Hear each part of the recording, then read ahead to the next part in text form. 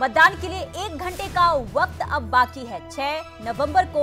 नतीजे घोषित किए जाएंगे तो सिर्फ अब एक घंटे का समय बाकी है और इसके बाद आखिर कितना वोट प्रतिशत निकलकर सामने आता है इस पर भी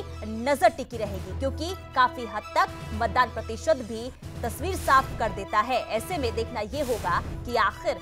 इस बार यानी कि आदमपुर उपचुनाव में कितने प्रतिशत वोट डाले गए हैं